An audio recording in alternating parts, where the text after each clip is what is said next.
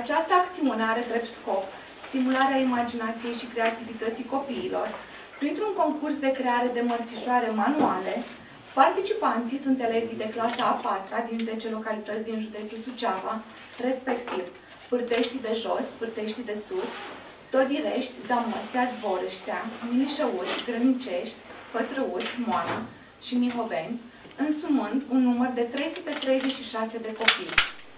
Acestora li s-a pus la dispoziție un kit minimal,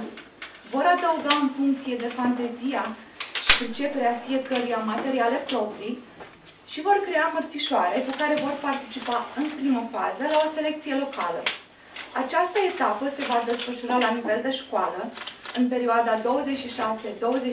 februarie și va consta în alegerea a 100 de mărțișoare, din câte 10 din fiecare localitate, de către o comisie de jurizare formată din doamnele social-democrate